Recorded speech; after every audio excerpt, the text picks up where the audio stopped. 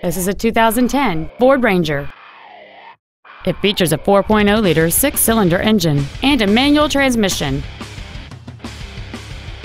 Its top features include a double wishbone independent front suspension, a low tire pressure indicator, traction control and stability control systems, aluminum wheels, and satellite radio.